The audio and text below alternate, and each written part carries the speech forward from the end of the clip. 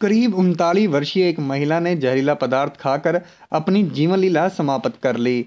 Police ने शव को कब्जे में लेकर मामले की जाँच शुरू कर दी है, मगर अभी तक जहरीला पदार्थ खाने के कारणों का खुलासा नहीं हो सका।